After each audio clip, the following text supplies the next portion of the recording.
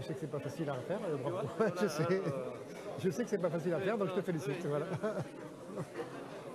Et, et je suis ravi pour mes filles qui ne voulaient pas voir euh, les- Voilà. tu vois, les, les mathématiciens professionnels. Moi, ce que je voulais,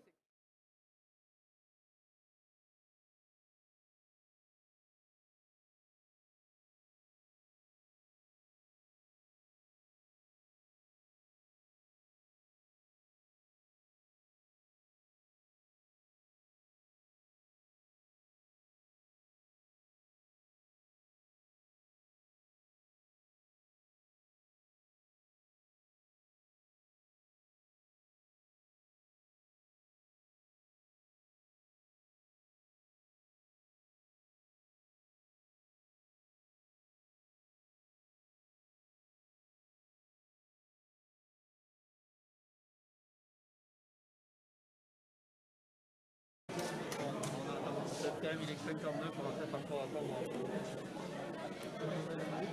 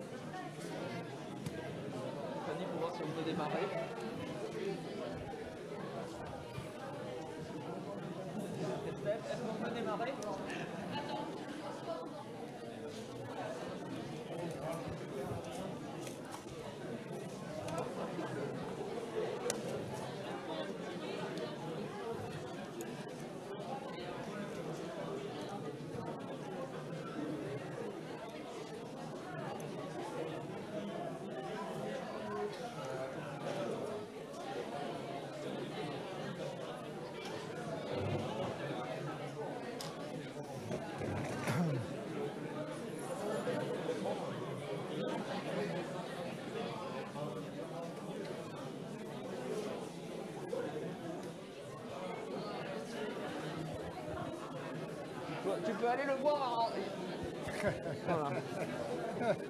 Ouais, j'ai- réussi à tous les chasser en plus. Ça n'a pas été facile non plus. Bon. S'il vous plaît. S'il vous plaît, on va, on va donc euh, commencer cette euh, séance de l'après-midi. Et euh, donc, merci à tous d'être là. Donc, on a l'immense plaisir et privilège d'écouter euh, donc Étienne Gis, qui est un très grand mathématicien, qui, qui m'a beaucoup appris. Euh, donc je suis très heureux qu'il ait pu venir aujourd'hui et qui a inspiré des générations de mathématiciens, de mathématiciennes et de jeunes comme vous. Donc vous avez une très grande chance de pouvoir euh, écouter son exposé et qui sera sûrement fascinant et qui vous suivra peut-être dans toute votre vie. Donc euh, Étienne, euh, voilà. Après ça, il faut... Merci beaucoup. Alors, après- avec une introduction pareille, c'est pas facile de tenir la route. hein. Bon, Je suis très content d'être face à vous. Vous êtes tous lycéens, lycéennes. En quelle classe êtes-vous? Cinquième. En quoi? Cinquième. En cinquième.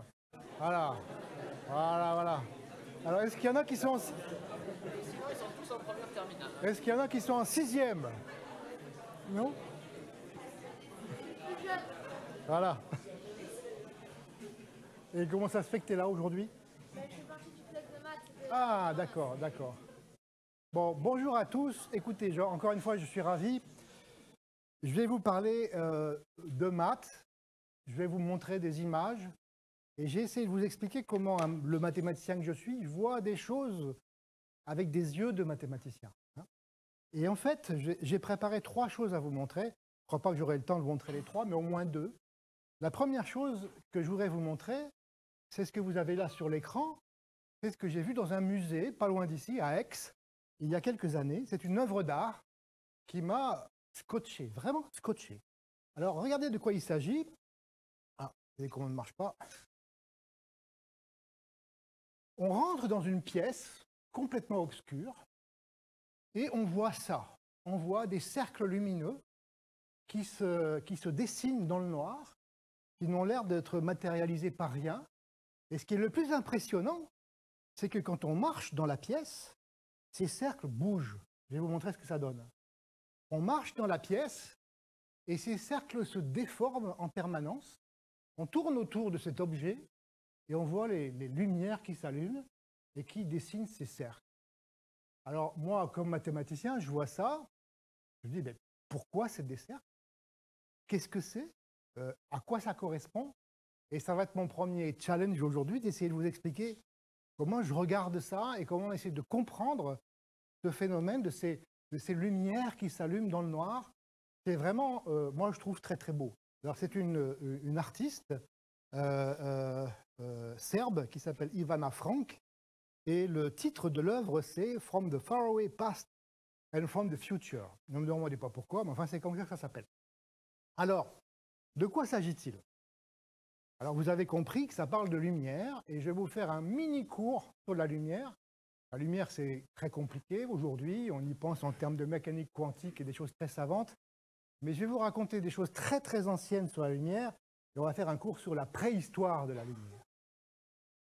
Il y a très très longtemps, il y avait deux théories sur la lumière. La première, je vais vous la donner, je suis, sûr, je suis sûr que vous serez surpris. Pendant très très très longtemps, les gens pensaient que la lumière sortait de nos yeux pour aller vers les objets. Tous les gens pensaient ça. Et à vrai dire, euh, les enfants pensent souvent ça. Et, nous-mêmes, quand moi j'ai pris des cours de physique, tout ça, je sais que ce n'est pas vrai, mais je ne peux pas m'empêcher de penser que ça vient de moi, que la lumière part de mes yeux. Il a fallu attendre très longtemps. Vous avez dans des, grands mathématiciens comme Euclide ou Ptolémée, donc dans les temps anciens, ils professaient que la lumière émanait de l'œil. Il a fallu attendre près de mille ans, en fait, pour qu'on comprenne que c'est le contraire, que la lumière vient des objets et va dans notre œil. Et en fait, c'est un, scientifique, un savant arabe qui s'appelle Al-Hazen, qui a établit ceci d'une manière assez euh, indiscutable d'ailleurs, parce que la preuve, elle est très simple. Si la lumière sortait de, nos yeux, eh ben, on verrait la nuit. Hein. donc c'est un argument tout à fait euh, solide. Ça, ça se passe donc du côté de autour de l'an 1000, et il a fallu attendre encore un peu plus. Johannes Kepler, le grand astronome, mathématicien, qui faisait beaucoup de choses, l'un des fondateurs de l'optique, il a fondé ce qu'on appelle aujourd'hui l'optique géométrique. Et le concept clé pour comprendre l'optique géométrique et la lumière, c'est celui de rayon lumineux. Ça, vous le savez déjà à peu près, la lumière, dans des conditions normales, suit des lignes qui sont des droites. Elle se déplace le long de droites qu'on appelle des rayons lumineux. Et l'optique géométrique, eh bien, les droites, c'est, on fait de la géométrie avec les droites. L'optique géométrique parle des droites lumineuses, des rayons lumineux. Voilà, j'ai fini mon cours sur la lumière. Vous voyez, je suis encore qu'au XVIe siècle. Si on voulait aller jusqu'au XXe siècle, XXIe siècle, il y aurait des tas de choses à découvrir, la nature ondulatoire de la, lumière, la mécanique quantique, toutes ces choses fabuleuses qui se sont passées après. Et aujourd'hui, on va faire de la géométrie très élémentaire et on va penser à la lumière comme des rayons. Alors, continuons. Le grand, spécialiste qui a fondé tout ça, en tout cas l'un de ceux-là, c'est notre grand héros français, Descartes. Descartes, vous le savez, était philosophe, peut-être avant tout, mais il était aussi mathématicien, il était aussi euh, physicien. il a écrit un grand livre qui s'appelle Dioptrique, dans lequel il dit pas mal de bêtises, mais il dit quelque chose d'intéressant. Et en particulier, il essaie de comprendre comment l'être humain se situe par rapport au monde extérieur qui l'entoure et comment il utilise ses sens. Regardez un dessin qu'on trouve dans, dans son livre La Dioptrique. Il essaye de comprendre comment nous touchons comment nous voyons, comment nous ressentons le monde extérieur. Et vous savez, vous êtes en terminale, donc vous faites de la philosophie. Vous savez bien que le rapport de l'homme avec le monde extérieur a préoccupé les philosophes et préoccupe encore les philosophes pendant des siècles et des millénaires. Savoir si comparer l'objet et le sujet, c'est une vaste, vaste question qui dépasse les mathématiques. Alors, revenons à notre euh, œuvre d'art et je vais vous expliquer comment c'est fait en fait. Si on regarde bien, parce que j'ai regardé comment c'était dans cette salle obscure, eh bien, euh, on a ceci. Suspendu au plafond, il y a un cadre métallique, comme je dessiné là. Le cadre euh, fait peut-être 4 euh, mètres de large et 2 mètres, 2 mètres 50 de haut. C'est le cadre métallique en noir. Et sur ce cadre métallique sont tendus des fils de nylon qui sont des fils de canne à pêche. Et les fils de nylon sont, sont organisés comme je l'ai dessiné là, il y a deux systèmes de droite qui émanent de deux points que j'ai que j'ai dessinés là. Il y a deux réseaux de fils de, de canne à pêche qui sont dessus. Ce sont des fils de canne à pêche translucides, donc transparents. Et puis on les met suspendus au plafond à peu près au, au milieu de la pièce. Et puis, sur le mur opposé au spectateur, exactement au niveau des deux points où les rayons se concentrent, il y a deux spots lumineux. C'est tout. Donc sur le mur, il y a deux spots lumineux qui éclairent ces fils de canne à pêche et on voit ces cercles. Voilà. Alors j'aimerais comprendre ces cercles. Pourquoi je vois ces cercles? Qu'est-ce qui se passe? Alors, c'est des choses que vous avez déjà vues. Quand vous avez des réseaux de choses translucides qui sont éclairés, il arrive souvent qu'on voit des courbes qui apparaissent. Là, vous avez une toile d'araignée qui est sous le soleil. Alors à droite, vous voyez, on, voit le soleil et puis il y a un petit cache de façon à ce que la, photo ne soit pas complètement aveuglée. Puis vous voyez que euh, certains points sur la toile d'araignée s'allument. Il y a comme un rayon qui émane d'un point là, qui va jusqu'au soleil. Et puis il y a une espèce de cercle qui se, qui se crée, qui est un cercle lumineux. Souvent on voit ce genre de choses. Par exemple, euh, il n'est pas rare de voir des lignes, par exemple, sur des collants féminins sur, sur, une, sur, une, sur une jambe, éclairées par la lumière. Alors, j'aimerais comprendre ça. Alors, tout ça va dépendre d'une chose très très simple en optique géométrique, qui est la réflexion de la lumière. Alors, vous le savez certainement, vous l'avez probablement déjà appris en physique, je ne sais pas, je- j'espère, que, oui, non, que lorsque la, lumière frappe sur un miroir, la lumière se réfléchit, elle rebondit, et vous voyez là un- un- une mesure de, physique qui montre que lorsque la lumière se réfléchit, l'angle avec lequel la lumière se réfléchit est égal à l'angle avec lequel elle est arrivée. hein. L'angle de réflexion est égal à l'angle d'incidence. C'est une loi physique que vous avez appris expérimentalement, j'espère, en, physique. Les deux angles, lorsque le rayon arrive, il rebondit. θ1 égale θ2, c'est la règle de euh, la loi. C'est très connu depuis très longtemps. Depuis au moins 1000 ans, on savait ça. Qui est un peu moins euh, explicite, mais il faut le dire quand même, c'est que quand on fait de la géométrie dans l'espace, c'est pas seulement l'angle d'incidence qui est égal à l'angle de réflexion, c'est aussi que lorsque le rayon arrive sur un, miroir et qu'il rebondit, eh bien, le rayon incident, le rayon réfléchi et la perpendiculaire à la surface sont dans un même plan. Bon, ça c'est la loi de réflexion de la lumière que vous avez euh, tous déjà vu une fois ou l'autre. Alors qu'est-ce qui se passe si de la lumière arrive sur un fil de canne à pêche? C'est ça la question. Alors c'est quoi? Elle est reflétée, mais comment? On va essayer de regarder, car la canne pêche, quand on la regarde en, petit, elle est un peu ronde. hein? Alors regardons ce qui va se passer. Mais avant de regarder ça, je voudrais quand même vous, rap- vous rappeler quelque chose que vous avez peut-être déjà appris. Cette loi de la réflexion, on peut presque, presque la démontrer. Vous voyez, j'ai dessiné ici un miroir en bleu. Il y a un rayon lumineux qui arrive du point A, qui va jusqu'au point B, et il tape sur le miroir au point X. Et donc il fait AXB. Et les deux angles, incidence et réflexion, sont égaux. Et qu'est-ce qui se passe au point Y, qui n'est pas le point où, ça marche? Eh bien, simplement, il se trouve que, en prenant une symétrie par rapport à la courbe bleue, vous voyez le point B devient le point B', et vous voyez que la ligne AX plus XB a la même longueur que le segment AB'.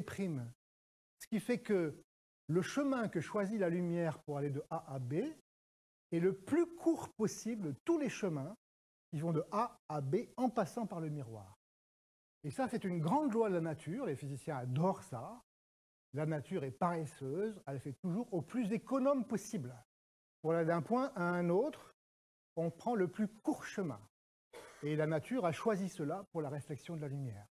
C'est un peu compliqué, même d'un point de vue philosophique, et ça perturbe beaucoup les, physiciens d'ailleurs, parce que ça laisse entendre que la nature réfléchit où elle va, qu'elle prend plusieurs options et que le, rayon lumineux il aurait quelque chose comme une intelligence pour choisir le plus court chemin de A à B. Ça a préoccupé beaucoup les, physiciens du temps de Newton, etc., qui voyaient la main de Dieu. C'était Dieu qui guidait l'homme dans la nature. Aujourd'hui, on pense tout à fait différemment, bien entendu. Alors, revenons à notre fil de canne à pêche.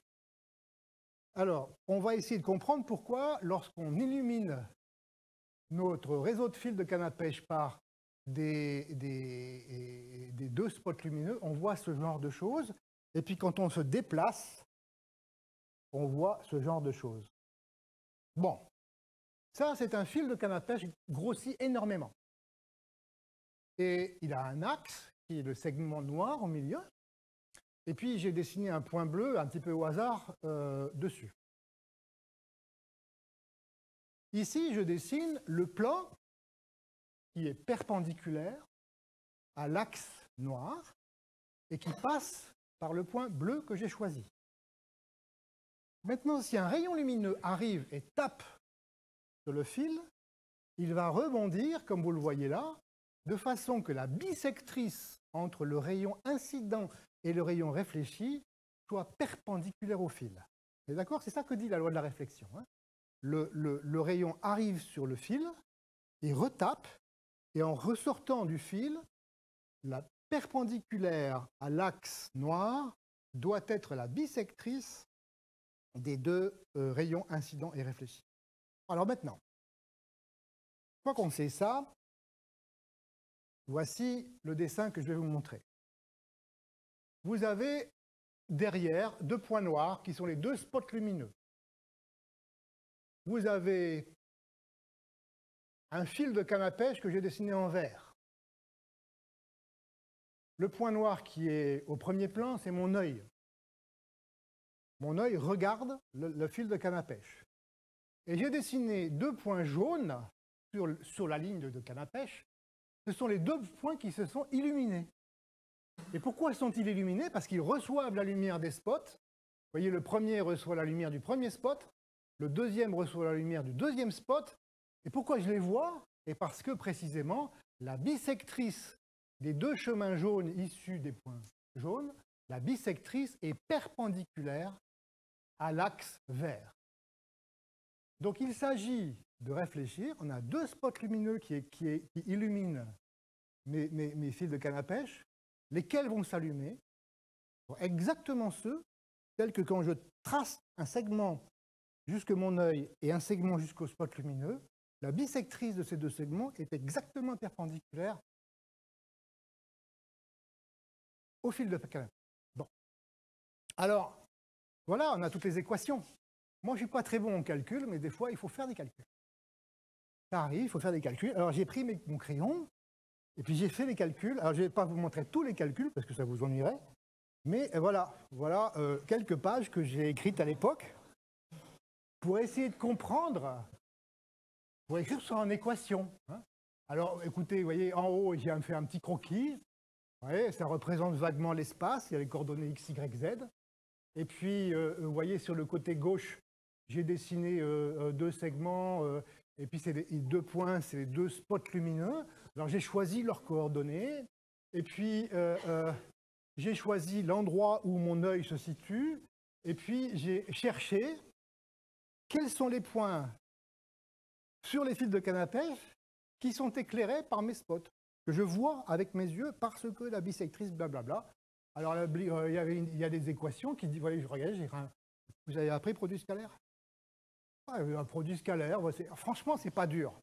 Sauf que je me trompe toujours dans mes calculs, donc il faut le faire plusieurs fois. Et puis ça fait des calculs, et puis à la fin, on arrive à l'équation de ce qu'on voit. Et j'étais tout content, j'ai dit, ça y est, j'ai compris pourquoi c'est des cercles.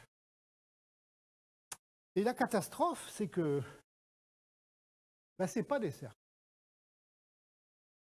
J'en reviens pas. C'est des trucs euh, qui, euh, je ne sais pas ce que c'est.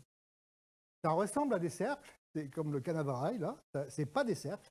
Alors je vais vous montrer, euh, ce sont des courbes algébriques de degré 4, mais ça ne sont pas des cercles, donc ce sont des courbes que je ne connais pas, mais qui sont assez jolies. Alors je vais vous montrer. Là, quand même, ça c'est une, une animation qui montre ce qu'on voit. Alors, on dirait vraiment des cercles, vous êtes d'accord hein? On dirait quatre cercles. Vous voyez là, c'est, c'est- on voit bien dans l'arrière-plan, on voit les, fils de canne à pêche qui ont été dessinés en vert. hein. Et puis, j'ai, illuminé en jaune, enfin, avec mon copain Joss, on a illuminé en jaune les points qui s'allument, parce que la bisectrice, blablabla. Et en voyant ça, je dis, ça y est, c'est quand même des cercles. Mais en fait, non, si on regarde sur d'autres points de vue, si, euh, si on se déplace autrement dans la pièce, là, pour s'amuser, j'ai mis quatre, quatre spots pour voir que fait joli quand même.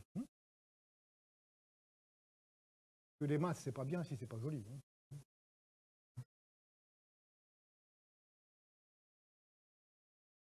Ça, ça n'a pas été réalisé, aucun artiste l'a encore fait, mais si vous voulez le faire, euh, je vous encourage. hein. Et puis voilà, euh, euh, voilà ce que j'ai trouvé à un moment, mais je dis comment ça, c'est pas des cercles. Et puis, euh, eh ben voilà, c'est pas des cercles. C'est pas des euh, en fait, si on cherche bien, même trouvé certaines situations où au lieu de voir des cercles, on voit ceci. Si on se place à un certain point dans la pièce, on voit euh, quatre courbes en effet, mais qui ressemblent plus à des poires qu'à des cercles. Et euh, je vous propose comme thème de réflexion de trouver quelles sont ces courbes. Je n'en sais rien. Si vous avez une idée, eh bien, vous, vous m'écrivez, je serai très content. Ce sont des courbes algébriques, peut-être qui n'ont jamais été étudiées auparavant. En tout cas, je trouve que ce sont des courbes qui ressemblent à des cercles. Et je dois vous dire que j'ai écrit à cet artiste pour lui dire euh, Mais comment avez-vous eu cette idée? C'est beau quand même. hein, euh, je n'ai pas réussi à vous le montrer, c'était un film. Et quand on rentre dans la pièce, dans l'obscurité, c'est vraiment, euh, en tout cas, ça très prenant. hein. Et, en fait, comment avez-vous pensé à ça? Et je vais vous dire la réponse de l'artiste, ça m'a pas plu, parce que euh, euh, elle croyait que je voulais lui piquer son idée ou je sais pas quoi. Et donc, elle m'a pas répondu. Enfin, elle m'a répondu une phrase tellement vague, que je ne sais pas comment elle a pensé à ça. Mais il y a beaucoup de choses à faire. Je vais vous expliquer, par exemple, une idée. Si vous avez des idées un jour, regardez. Au lieu de prendre des fils de canne à pêche qui font des réseaux, comme je vous ai expliqué, pourquoi ne pas prendre euh, ce qu'on les mathématiciens appellent un hyperboloïde, avec des fils qui seront tendus. Vous savez, comme on fait parfois des, des, des abat-jours de cette nature.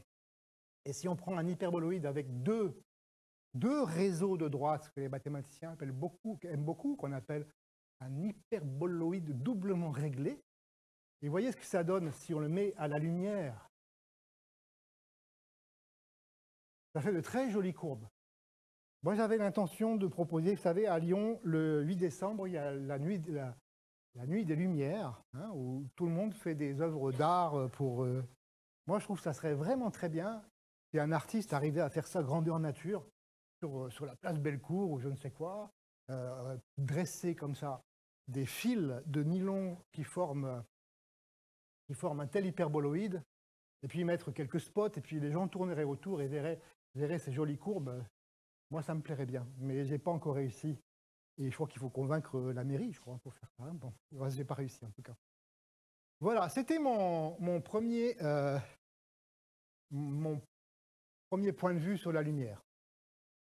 Maintenant, je vais vous montrer un deuxième point de vue, et ça va aussi être l'occasion de vous montrer une, une question de maths que je ne sais pas résoudre, et que peut-être vous saurez résoudre. Euh, euh, peut-être que Pascal, tu seras encore plus compétent que moi, parce que tu vas voir, ça correspond à tes compétences. C'est euh, en lisant un livre écrit il y a fort longtemps hein, par M. Lambert. Alors, M. Lambert était un mathématicien, à l'époque, on ne sait pas s'il était mathématicien ou physicien ou je ne sais quoi, qui était suisse, suisse-allemand, et qui a écrit ce joli livre, et le beau, le joli titre, euh, Propriété des routes de la lumière par les airs. Que le titre est assez joli. C'est en fait un traité d'optique. Il a fait beaucoup d'autres choses. Par exemple, euh, c'est à lui qu'on doit la démonstration que le nombre pi, 3, 14, 15, 92, 65, etc., le nombre pi n'est pas un nombre rationnel. Il n'est pas le quotient de, no- de nombres entiers. C'est lui qui l'a démontré. Et je peux vous dire que c'est pas facile, même aujourd'hui, je ne suis pas sûr qu'il y a beaucoup de nos collègues qui savent le démontrer comme ça. hein. C'est quand même quelque chose qui est assez difficile. Euh, D'autre part, il est l'un des inventeurs de ce qu'on appelle la géométrie non euclidienne, mais ce n'est pas de ça dont je vais parler aujourd'hui, ou des précurseurs de la géométrie non euclidienne. Je vais vous parler d'autre chose qu'il raconte dans ce livre de physique sur la réflexion diffuse. Alors voici de quoi il s'agit. Quand on a une boule, vous à gauche, on peut dire que c'est une boule qui réfléchit la lumière comme un miroir. Alors, les physiciens parlent de réflexion spéculaire. Miroir. Ou bien elle peut être euh, mate et ne pas réfléchir à la lumière, mais quand même, elle doit bien la réfléchir puisque je la vois. Si je regarde cette boule à droite en marbre, je la vois. Ça veut dire qu'elle m'envoie de la lumière qui arrive dans mes yeux. Et cette lumière qui arrive dans mes yeux, elle vient du soleil. Donc le soleil a envoyé de la lumière sur cette boule. La boule m'a renvoyé un, rayon, lumineux dans mon œil et je vois la boule. Mais euh, pas, de la, même manière que la réflexion spéculaire. Alors il y a donc deux sortes de réflexion. Il y a la réflexion spéculaire à gauche, c'est ce que vous avez pris en physique, le rayon lumineux il arrive, boum, et il retape, et on a angle d'incidence égal à l'angle de euh, réflexion. Et puis vous avez au milieu la, réflexion diffuse qui est un peu bizarre. La lumière arrive et elle dit le contraire de ce que vous disait le prof de physique. Elle rebondit dans une direction quelconque. Et c'est pourtant ce qu'on voit. Cette table n'est pas un miroir. Il faut donc que la lumière se réfléchisse sur cette table d'une manière qui, viole le principe que vous avez appris, euh, angle d'incidence. Il faut comprendre ça. Et puis, il y a des situations intermédiaires entre le spéculaire et le diffus, où la lumière, elle rebondit plutôt, plutôt dans la direction donnée par la physique, mais pas complètement. Donc, entre ces deux extrêmes d'une réflexion, un miroir parfait et une réflexion diffuse parfaite, il y a tout un, tout un, continuum.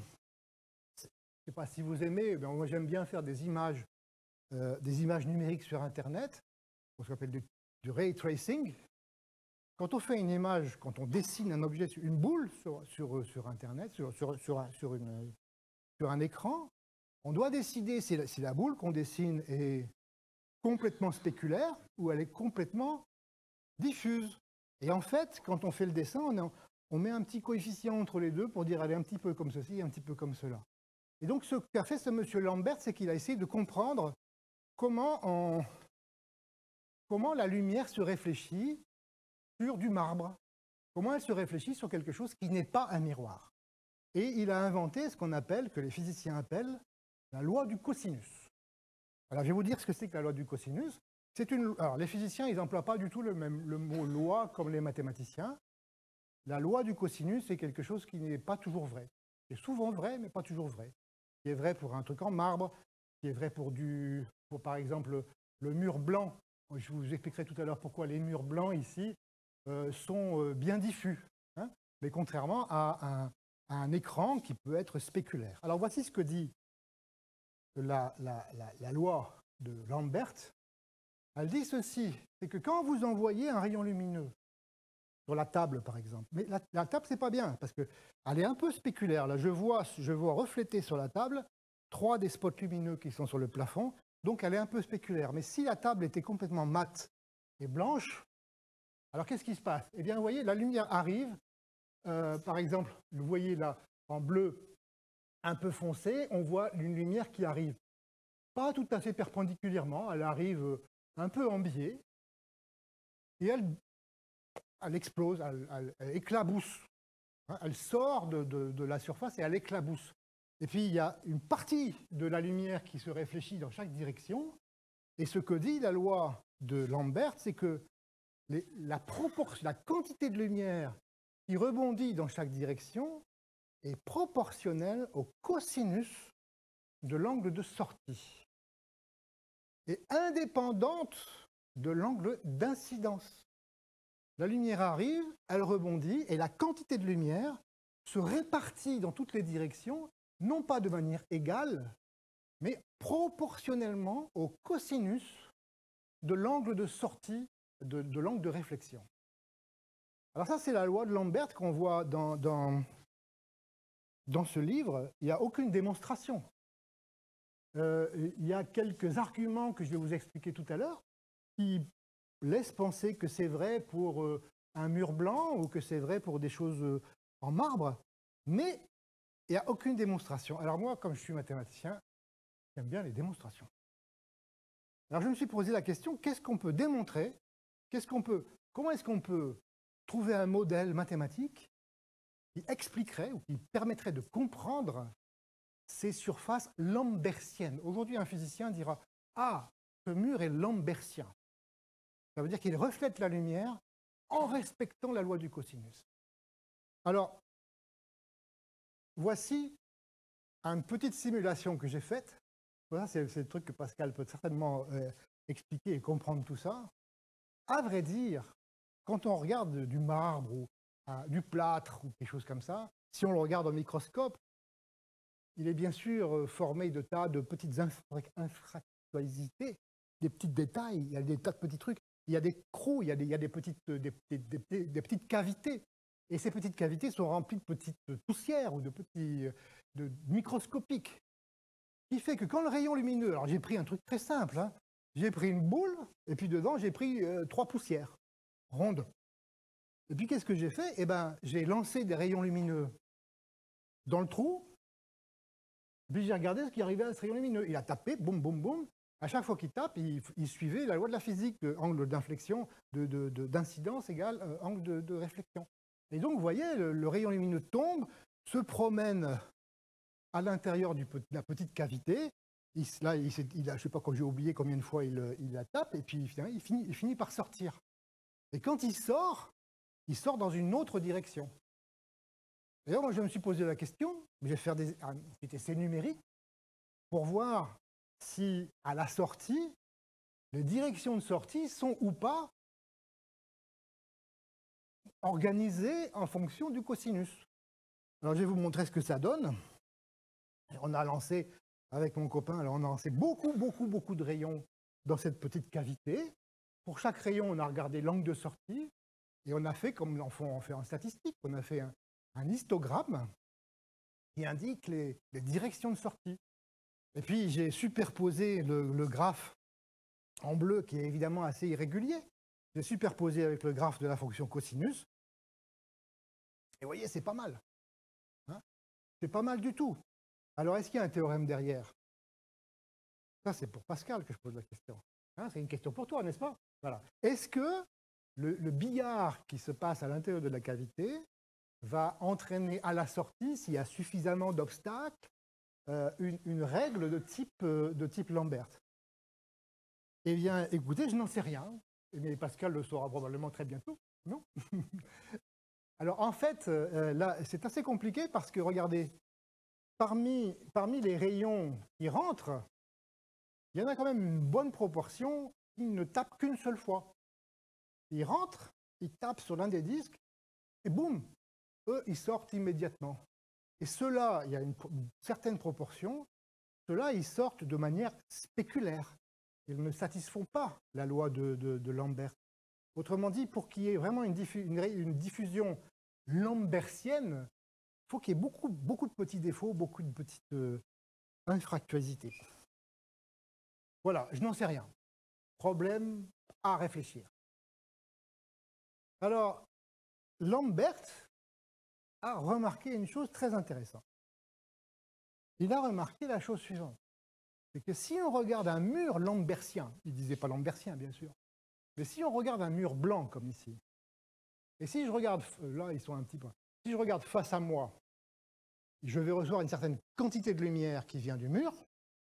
Si je regarde en biais, on peut dire ah oui, je reçois plus de lumière parce que avec l'inclinaison du mur, vous voyez que euh, le truc en biais, il embrasse une partie plus grande du mur.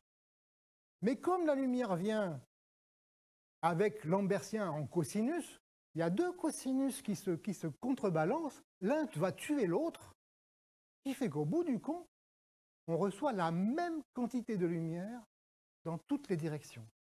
C'est ça l'observation de M. Lambert. Quand on regarde un mur éclairé par le soleil, si le mur est lambertien, il nous envoie la même quantité de lumière dans toutes les directions. Et c'est ça qu'il a remarqué. Il l'a observé euh, concrètement dans la vie de tous les jours, et c'est comme ça qu'il a intuité l'idée que ça devrait être un cosinus pour la, réflexion. Alors, je vais vous montrer euh, une chose. Si vous prenez une boule illuminée et que vous la regardez, exactement pour le même argument que je viens de vous dire, vous ne verrez pas qu'elle est, courbe, qu'elle est bombée. Vous la verrez plate. Je vais vous montrer un exemple. Voilà, j'ai pris une photo, c'est une photo d'une lampe qui est chez moi. C'est une lampe, une ampoule dépolie, toute simple. Eh bien, vous voyez qu'elle paraît plate. Hein, on n'a pas, on peut pas. Bien sûr, vous savez qu'elle est sphérique parce que vous avez déjà vu des ampoules électriques. Mais si je ne vous le dis pas, on a l'impression que la quantité de lumière qui arrive au milieu de ma photo et, vers le bord de la photo, c'est la même chose. On ne peut pas, à l'œil, on ne peut pas deviner la forme d'un objet lambertien. Monsieur Lambert avait remarqué ça pour les braises. Quand on fait euh, chauffer des braises qui sont rouges, il dit dans son livre, c'est un observateur, il, dit que les braises sont rouges et on les voit plates. On ne peut pas deviner si elles sont courbées, bombées, creuses. On les voit toujours plates. Et c'est comme ça qu'il a eu son idée. Alors, regardez. Si la Lune était lambertienne, je dis qu'on la verrait comme ça. Pourquoi? Vous allez me dire, il dit des bêtises, parce qu'il y a une seconde, il m'a dit que euh, son ampoule électrique était uniformément éclairée. Or là, vous voyez, j'ai dessiné quelque chose qui est moins éclairé sur le bord. C'est parce que la Lune n'est pas une ampoule électrique. La Lune n'envoie pas directement de la lumière. La Lune reçoit la lumière du Soleil et elle les répercute vers nous. Quand je regarde la pleine Lune, j'ai le Soleil, on n'a qu'à dire derrière moi, qui éclaire la Lune, qui me renvoie la lumière. Et bien sûr, les zones périphériques de la Lune par mètre carré reçoivent moins de lumière parce que c'est penché. De la même manière que pendant l'hiver, nous avons plus froid parce que nous présentons une surface plus penchée par rapport au Soleil. Donc, si, si la, la surface de la Lune était lambertienne, nous la verrions comme ça. Mais ce n'est pas comme ça qu'on la voit. Voici une vraie photo de la Lune. Et vous voyez que la, vraie photo de la Lune, ne montre pas ce côté un peu sombre sur le bord. Hein. la Lune, euh, en fait, ne semble pas être lambertienne. Alors pourquoi? Bon, ce n'est pas non plus un miroir parfait, elle n'est pas non plus spéculaire. Elle n'est ni spéculaire, ni lambertienne. Alors qu'est-ce qu'en pensent les les astronomes et même les astronautes? Regardez, des nombreux modèles de numériques qui sont un peu pipeaux, il faut bien dire la vérité. On voit des tas de revues de expérimentales, de physique expérimentale, mais aussi de, comment dit-on, de, des revues pour dessiner des, pour faire du, design, pour, faire pour dessiner des objets, pour inventer des objets virtuels. Il y a des tas de modèles qui prennent en compte le fait qu'une surface peut très bien être. C'est pas la même chose que tout à l'heure avec mon billard une surface peut être euh, légèrement euh, rugueuse au niveau de sa surface, si bien que quand un rayon lumineux arrive, il tape et il repart. Lui, il suit, il suit la, direction donnée par la physique, la loi de réflexion égale réfraction. Et puis, quand même, vous voyez, ça repart un peu dans toutes les directions. Et quand on décrit la surface avec des coefficients de rugosité, on peut essayer de trouver une lune qui se reflète comme la vérité. Et en fait, les physiciens en ont déduit, avant même que les Américains aillent sur la Lune, que la surface de la Lune devait être très poreuse, très irrégulière. Et ils ont même réussi à calculer les coefficients de porosité de cette surface. Et euh, vous êtes bien trop jeune pour ça, mais quand les, quand les Américains sont arrivés sur la Lune, comment il s'appelait Armstrong, euh, il est descendu sur la Lune, il a commencé par dire sa phrase célèbre, euh, un petit pas pour un homme, grand pas pour l'humanité. Bon, ça, il l'avait préparé d'avance. Et la première phrase qu'il dit vraiment, c'est dit Oh, que ça colle Il a été surpris par le fait que la Lune est couverte d'une poussière, d'une finesse qu'il n'avait jamais vue sur Terre. Et c'est cette poussière et cette rugorisi- rugosité de la surface de la Lune qui explique, d'après ce que disent les astronomes, je ne suis pas astronome, qui explique pourquoi on voit la Lune de cette manière. Vous voyez que rien qu'en observant une planète ou même une étoile, on peut voir des choses sur la nature de sa surface, lambertienne ou pas lambertienne. Alors, je vous propose de passer au troisième, troisième chose lumineuse de mon exposé. C'est plus de la réflexion, c'est de la réfraction. Je ne sais pas si j'avais déjà vu des, des arcs-en-ciel de cette beauté. Moi, je n'en ai jamais vu des aussi beaux, mais enfin, celui-ci est assez complet. Euh, il s'agit de la même manière de comprendre qu'est-ce que sont ces arcs-en-ciel, comment ça marche, et euh, quelle est la, géométrie de ces arcs-en-ciel.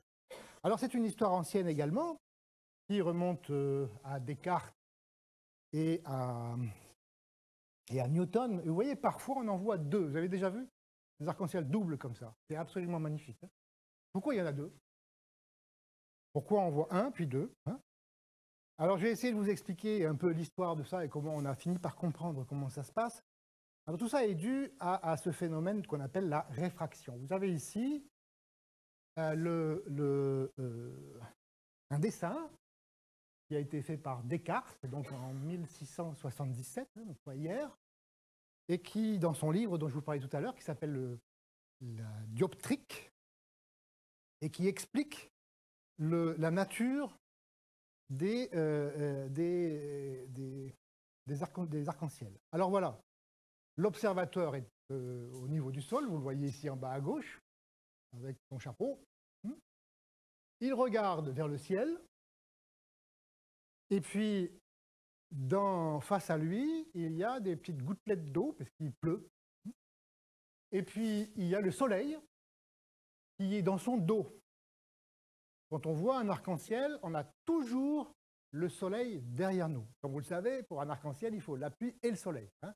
Donc, on a le soleil dans le dos et la pluie devant nous. Et puis, le rayon du soleil, que vous voyez en A et P, là, arrive dans une goutte d'eau, rentre dans la goutte d'eau, rebondit à l'intérieur et ressort par le point, c'est un D, et revient vers l'œil du spectateur. Autrement dit, la goutte d'eau fait comme une espèce de petit miroir qui reçoit la lumière du soleil, la fait rentrer à l'intérieur de la goutte d'eau, boum boum, ressort et, repart vers l'observateur. D'ailleurs, en passant, vous avez déjà tous vu ça de nuit sur les autoroutes ou je ne sais quoi. Vous savez, c'est ces points qui qui sont lumineux, qui s'allument tout, de suite, tout à coup, pour vous indiquer, euh, pour vous indiquer la route. En fait, c'est exactement ça. Ce sont, des, ce sont de toutes petites. Souvent, ce sont des petites boules de, de métal, pas de métal, de verre, qui la lumière rentre dedans et ressort et repart dans la même direction. C'est un peu exactement comme le, ce qu'on appelle des, yeux de chat. Alors, voici en fait la, géométrie euh, du système. Vous avez en bleu, en bleuté, vous avez une goutte euh, d'eau hum, magnifiée. Vous avez le, rayon lumineux qui vient du soleil tout en haut, qui pénètre dans la, goutte d'eau, qui va jusque euh, le côté droit, et là il rebondit à l'intérieur de la goutte d'eau, revient et ressort. Alors là, vous voyez qu'il y a deux phénomènes. Il y a réfraction et réflexion. hein. La réfraction, c'est lorsque la lumière pénètre d'un milieu vers un autre, et lors de ce passage d'un milieu vers un autre, la lumière se brise. C'est pour ça qu'on dit qu'il y a réfraction. On va regarder tout de suite comment ça se brise. Et puis vous avez euh, sur le côté droit, vous avez au contraire une réflexion. Le, rayon lumineux noir euh, euh, rebondit à l'intérieur de la goutte, revient et se, réfracte à nouveau. Alors ça, ça, explique pourquoi on voit certains points euh, lumineux dans le ciel lorsqu'il y a de la pluie et qu'il y a du soleil. Mais la vérité, c'est que, comme vous le savez, c'est Newton qui l'a découvert.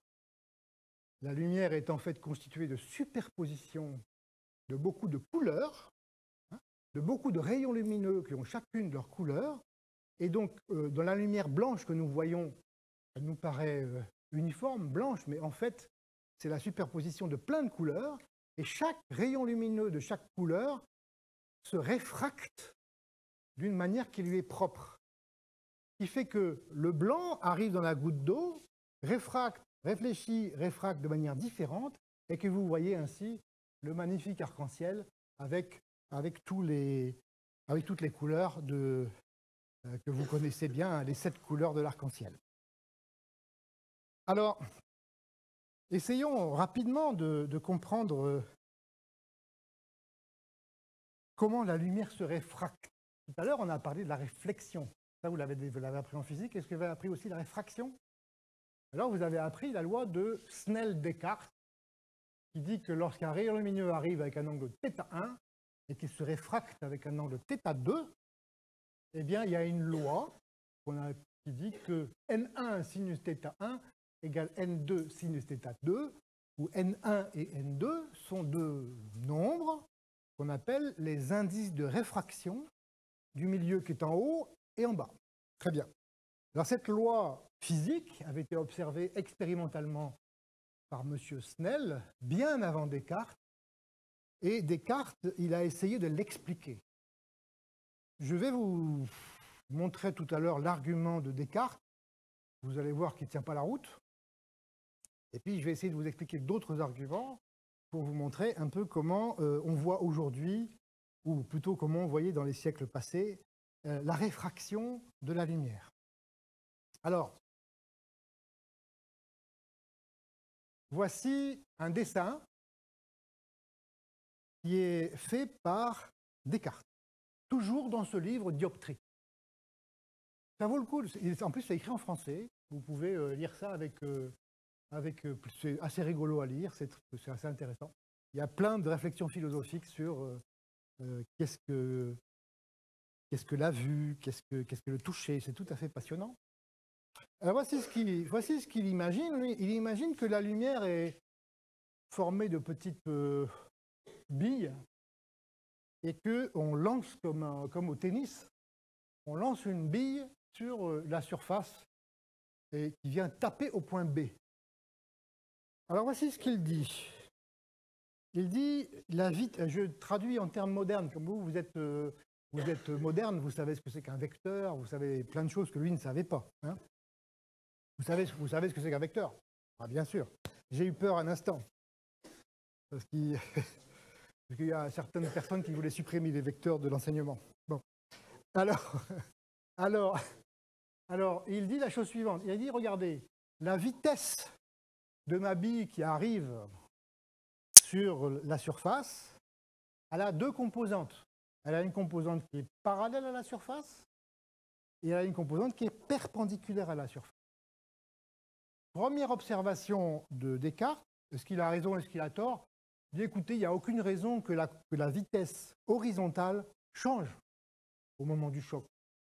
La, la lumière arrive, elle traverse, elle ne subit aucun choc horizontal. La composante horizontale de la vitesse va rester constante. Bon. On le croit, on ne le croit pas.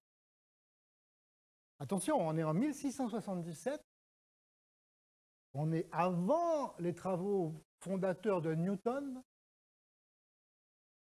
Tous ces gens-là savaient beaucoup, beaucoup, beaucoup moins de choses que vous savez, vous, sur la physique. Hein? Ils ne savaient pas du tout ce que c'est que l'accélération, la force. Tous ces concepts n'existaient pas. hein. Donc la composante horizontale reste constante. Et puis il dit, le module de la vitesse, la valeur de la vitesse, perd un certain pourcentage. Ça arrive avec une certaine vitesse, et puis au moment du choc, le module de la vitesse est divisé par un certain nombre. Voilà ce qu'il dit. Alors après, c'est un petit exercice euh, de, géométrie très élémentaire. hein. Vous avez, ça arrive avec un certain vecteur qui a une composante horizontale et puis une composante verticale. Et puis à la sortie, la composante horizontale est exactement la même. Ceci est égal à cela. Et puis la longueur du vecteur a été divisée, disons, par 2, par exemple. Et donc elle devient euh, euh, quelque chose comme ceci. Alors après, c'est un petit calcul de voir que si ce que dit Descartes était vrai, que la vitesse euh, divise par un certain nombre, et si ce que dit Descartes, que la vitesse horizontale reste la même, ben, vous ferez le calcul vous-même pour voir que ça entraîne facilement que la loi de Snell-Descartes est satisfaite. Ça, c'est la solution proposée par, euh, par Descartes qui n'a pas plu du tout, mais pas du tout, du tout, du tout, à Fermat. Fermat, euh, il a proposé une autre méthode. C'est la méthode dite de, de Fermat, donc, qui consiste à dire, voilà, la vitesse de la lumière au-dessus et en dessous, c'est pas la même. Il y a au-dessus, on va par exemple plus vite, et en dessous, dans la partie bleue, on va moins vite, par exemple. Alors il dit, ben voilà, si je vais de A à B en passant par X, combien de temps je mets pour aller de A à B? Eh bien, pour aller de A à X, le temps que je mets, c'est AX divisé par la vitesse V1. Ça, c'est le temps qu'on met pour parcourir le segment AX. Et pour aller de X à B, c'est XB divisé par V2, la vitesse dans le deuxième milieu bleu V2. Et voilà, ça c'est le temps qu'on met pour aller de A à B en passant par X. Et ce que dit Fermat, c'est que Dame Nature, ou Dieu, ou l'être suprême, ce que vous voulez, fait en sorte que la lumière va au plus vite de A à B. Elle fait en sorte qu'elle choisit le point X ce qu'on appelle le principe de moindre action. Elle fait en sorte d'aller de A à B au plus vite possible. Hein, on, cite toujours comme exemple euh, d'illustration, euh, par exemple, euh, le, en bleu, c'est de l'eau, et puis dans la partie supérieure, par exemple, c'est, euh, euh, je sais la plage, et puis euh, quelqu'un est au point A et quelqu'un se noie au point B. Alors vous voulez courir à son secours et vous voulez, atteindre la personne le plus rapidement possible. Alors vous courez vite sur la plage, bien sûr vous nagez moins vite que vous ne courez. Donc évidemment c'est intéressant, comme vous courez vite sur la plage, c'est intéressant de faire peut-être un, un chemin un peu plus long sur la plage, quitte à faire un chemin plus court à l'intérieur de l'eau, puisque vous nagez moins vite que vous ne courez. Et si on cherche quel est l'optimum, la meilleure façon de le faire, eh bien c'est aussi un exercice, comme vous êtes ceux qui sont en terminale pourront le faire facilement, de démontrer que si la lumière va au plus vite de A à B en passant par X, il faut qu'elle satisfasse la loi de Snell-Descartes. C'est magnifique. Simplement, c'est insupportable d'un point de vue philosophique. Parce que ça laisse entendre que la lumière, avant de, partir de A pour aller à B, a fait un plan de vol, un calcul. Où est-ce que je vais, par quel point je vais passer? Alors au début, je vous l'ai dit, les physiciens euh, euh, se contentaient parfaitement de ce genre de théorie parce qu'ils étaient tout à fait d'accord pour qu'il y ait une, inspiration divine qui, qui gouvernait le monde. Et aujourd'hui, ça n'est plus comme ça que nous pensons la physique. Et des grands physiciens comme euh, Feynman au XXe siècle ont été choqués par ce principe de moindre action et ont cherché à le comprendre. Et vous le comprendrez quand vous serez en licence de physique. Voilà. Et je vais terminer par ma troisième vision sur la loi de Snell-Descartes, c'est celle de Newton. Newton était un véritable génie. Franchement, quand, on lit Newton, et ça vaut le coup, vous prenez n'importe quel texte de Newton, vous passez, il faut du temps parce qu'il écrivait, pas facile à lire, mais c'est un grand plaisir de lire Newton parce que c'est un génie. Tout ce qu'il écrit est génial. Alors il a l'idée suivante. Il a l'idée que en haut il y a de l'air, en bas il y a de l'eau. Il pense qu'il se passe quelque chose à la surface de l'eau. tout à coup, les particules qui arrivent, les particules de lumière qui arrivent du haut, elles arrivent à la surface de l'eau et il leur arrive euh, soumises à des forces. Hein, N'oubliez pas que c'est Newton qui a compris les forces, l'accélération, F égale ma, c'était parfaitement dans, son, mode de pensée. Alors il imagine qu'il y a en fait trois régimes. Il y a au-dessus, dans l'eau, dans l'air, pardon, eh bien, la lumière, elle va tout droit, à vitesse constante. Dans la partie inférieure bleue que j'ai dessinée, elle va aussi tout droit, à vitesse constante. Et puis, dans cette fine, fine couche, dans cette fine couche que j'ai dessinée en jaune, mais qui est en fait, il imagine très, très, très petite, tellement petite qu'on ne la voit pas, il imagine que les particules qui arrivent sont soumises à, leur poids, ou en tout cas à une force. Une force qui, les, fait entrer en accélération. Hein, vous vous souvenez, la chose principale en physique, une force crée une accélération. Alors il dit, imaginons même une force constante, j'ai mis une flèche à droite, une, flèche à droite qui pousse, qui, for- qui pousse les particules de lumière qui arrivent d'en haut et les pousse vers le, vers le bas. Et puis quand elles ont traversé cette fine couche minuscule, la force n'existe plus et la, la particule continue tout droit. Alors qu'est-ce qu'il fait? Eh bien, il écrit ce que vous savez écrire, en tout cas je l'espère en physique élémentaire. On écrit la conservation de l'énergie.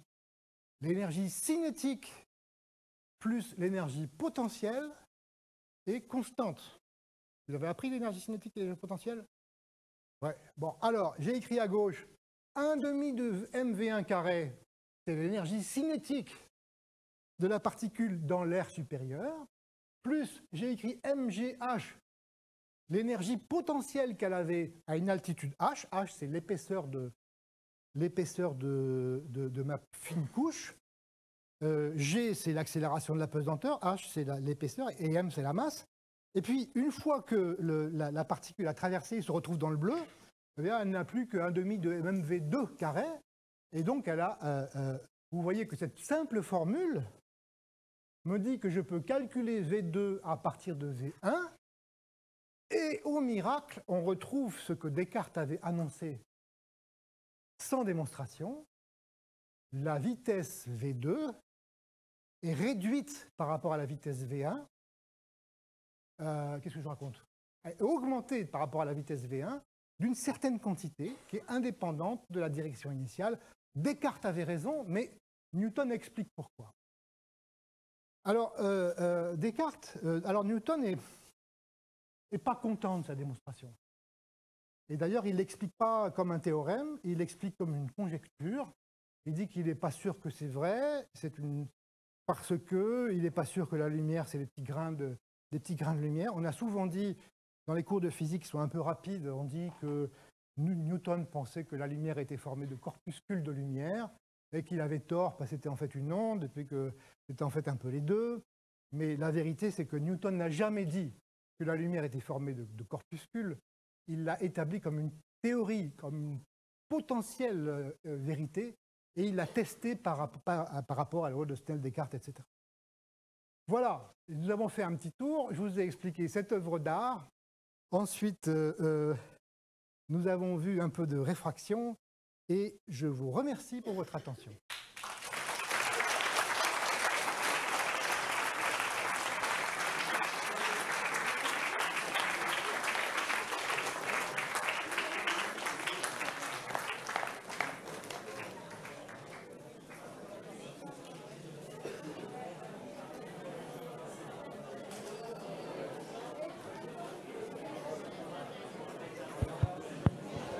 S'il vous plaît, s'il vous plaît, s'il vous plaît, il y a peut-être des questions dans la salle pour Étienne. Si- S'il y a des questions, euh, je pense qu'il sera ravi d'y répondre. Donc, euh, est-ce que, certains d'entre vous ont des questions? Il y a une question là-bas.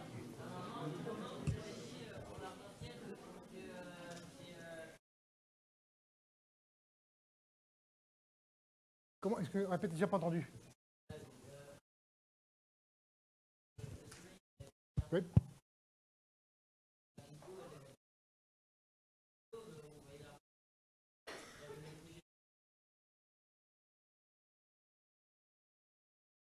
Ah, sur la photo.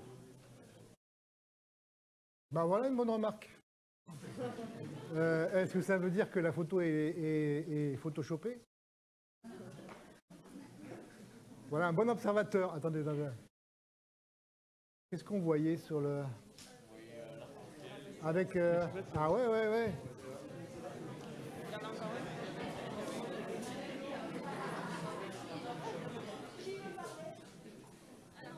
Non? Ah si si, on enregistre. Ah. Oui. Oui. D'accord. Euh, ça vous a pris combien de temps de comprendre le phénomène des cercles? Euh, bah, écoutez, ça m'a pris euh, une petite semaine. Euh, une petite. Non, non, mais ça m'a beaucoup amusé. Et puis, c'est, j'ai, euh, part- euh, moi, j'aime pas faire des maths tout seul. Qui est-ce qui a posé la question là? C'est qui qui a posé la question? Voilà. Euh, moi, j'aime pas faire des maths tout seul. J'ai un bon copain, d'ailleurs, je vois qu'il y a son nom, qui, vous voyez, tout en marqué Etienne Gis et Josselet. On fait des images ensemble. hein. On aime bien dessiner. hein. Moi, je, je donne des équations, lui, il fait les images. Et on, on est très copains. Et quand j'ai vu ce truc, j'ai j'ai téléphoné à mon copain, je dis qu'il faut qu'on comprenne ça. Mais lui, il n'est pas mathématicien, donc il a fallu que je lui explique, bisectrice, tout ça. Et puis moi, j'ai écrit mes petites équations, j'ai écrit sur mon papier que je vous ai montré. Et puis on a essayé, puis il a fait des images, et puis après on a dit maintenant on va faire des petits bouts de film. Puis après on a dit tiens, qu'est-ce qui se passerait si c'était un hyperboloïde? Voilà, je me suis amusé avec ça, et j'ai proposé même à un artiste de, de faire ça à Lyon pour le 8 décembre. Il a fait une, une demande au ministère de la Culture pour que ça soit accepté et ça a été refusé. Voilà. voilà. Pourtant, c'est une bonne idée, non? C'est joli. Hmm. Ouais.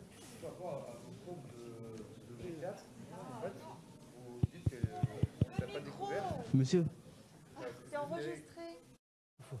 Peut-être. C'est dommage. Attends, je vais, t'in- je vais tenter le micro parce que comme ça enregistré. Oui, je vais, ou- ah, je vais, je vais, dommage. je vais peut-être répéter la question. Allez. Voilà. Si.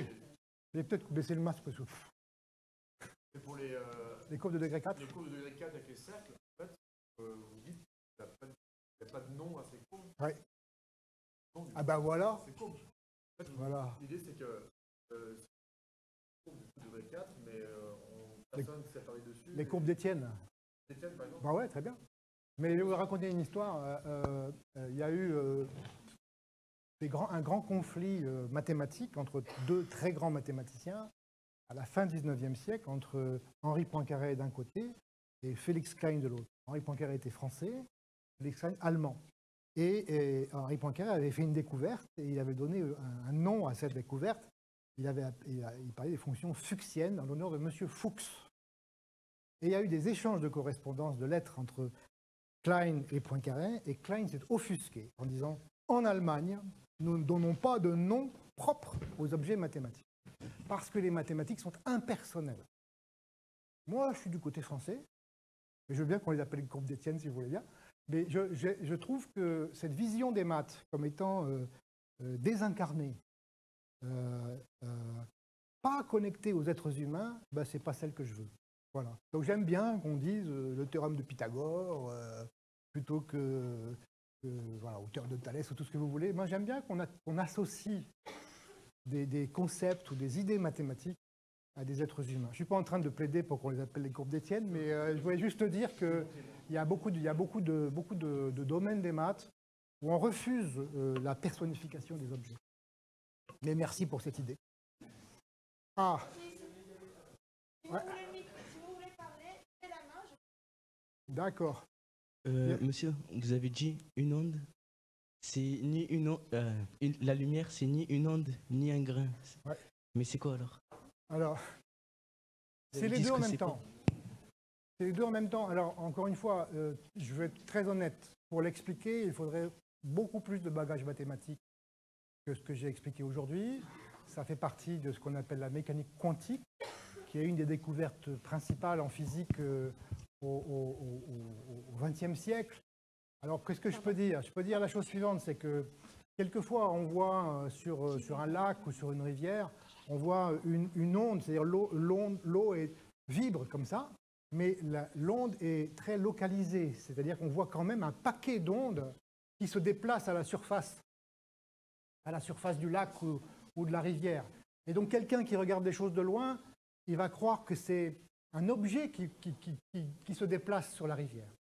Donc, des fois, il y a des objets qui sont en fait des ondes. Et des fois, il y a des ondes qui sont en fait des objets.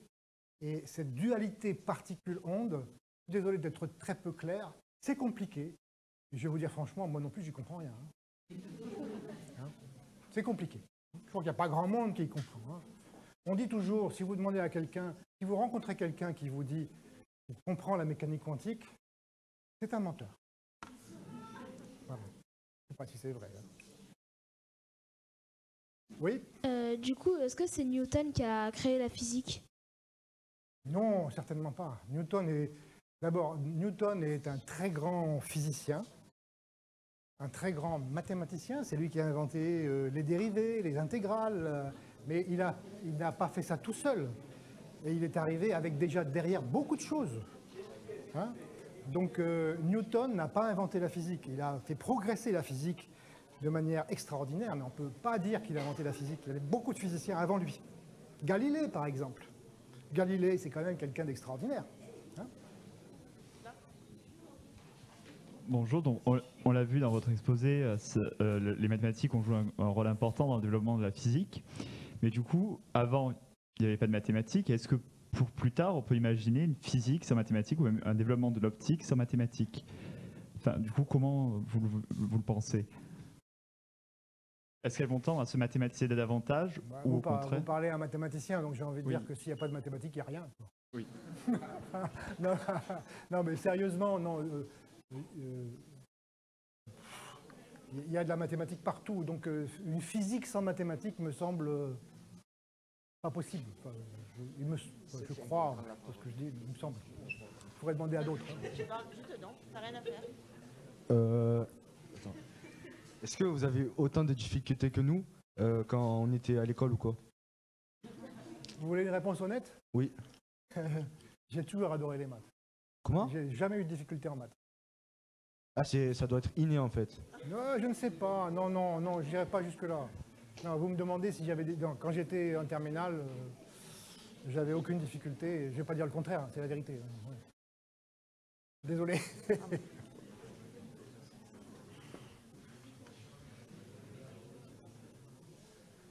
Plus de questions? C'est bon Bien, merci à tous.